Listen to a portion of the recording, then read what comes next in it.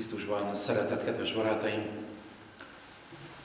Az iménti evangéliumban Jézus fogalmazza meg a saját küldetését, ami megvalósításra kell, hogy ösztönözzön bennünket is. Azért jöttem, hogy életük legyen. Mindenhol keressük az életet.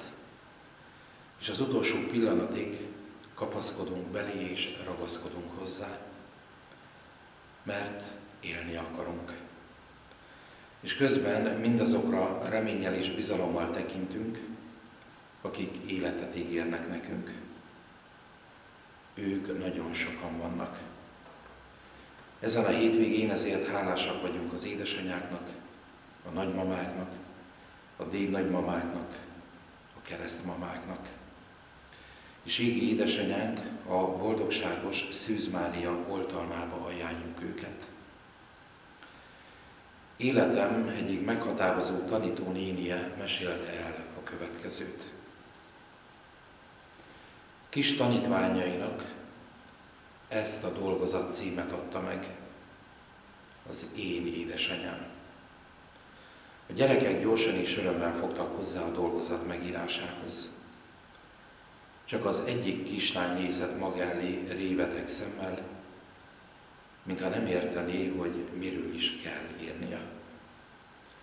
Hogyan is írjak én édesanyámról, amikor nekem nincs is édesanyám, hiszen tavasszal meghalt. A tanító néni együttérzően biztatta, miért ne írhatnál te is róla, hiszen édesanyád a Jóistennél él ott a mennyországban.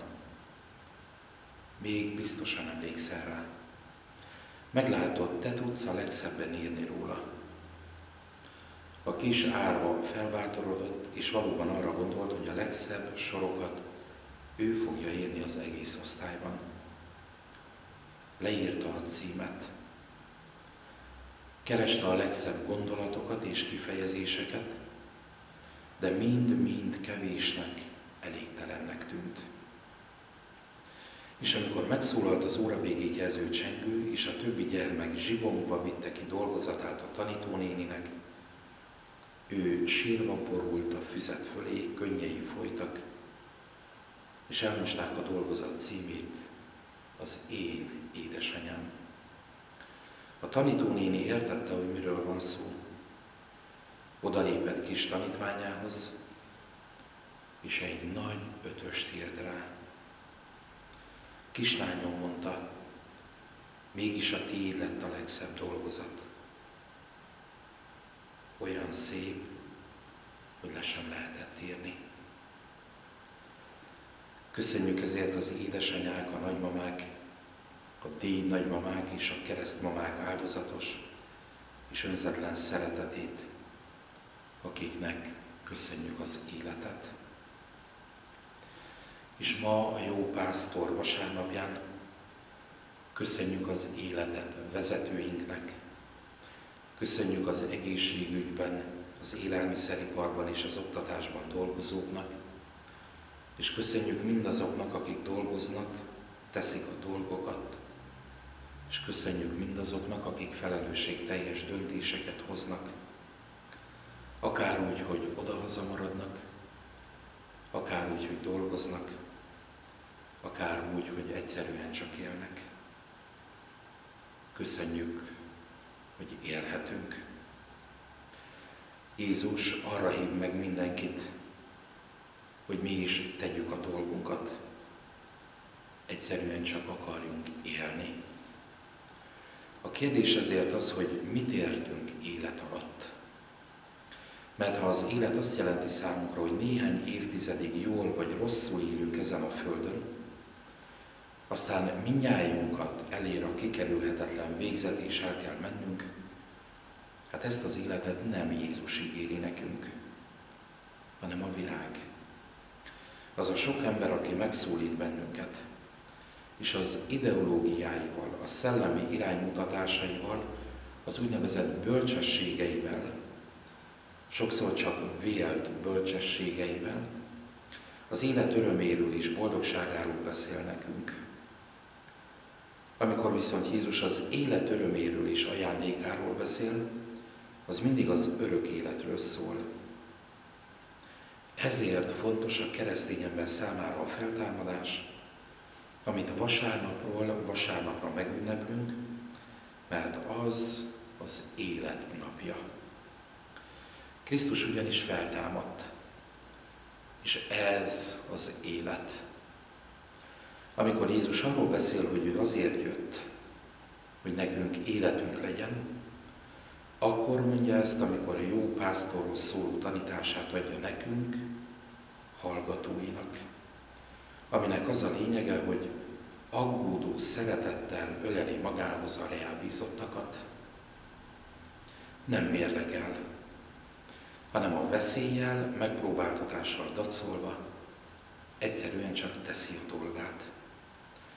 Teszi alázattal szolgálva. Teszi jóságosan. Azért teszi, hogy egyedül csak a szeretet munkálkodjék ebben a világban.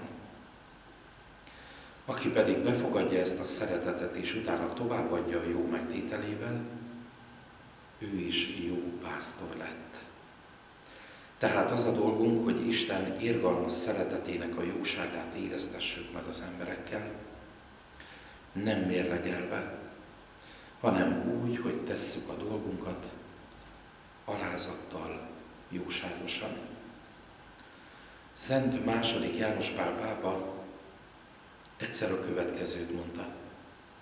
Ne féljetek elfogadni a meghívást, nem lesztek megkímélve a nehézségektől és az áldozatoktól sem, de mégis boldogok lesztek. Boldogok, mert szolgálhattok, és annak az örömnek lesztek a tanúi, amelyet a világ nem tud megadni.